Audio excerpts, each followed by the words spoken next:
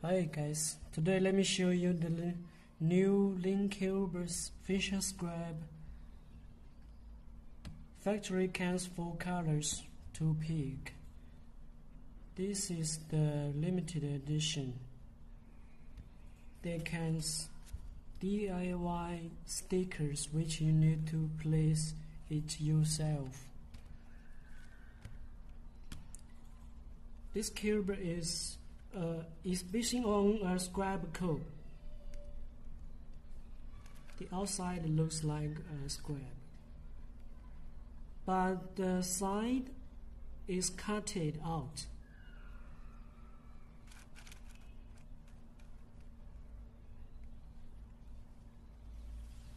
And it, it can turns like this.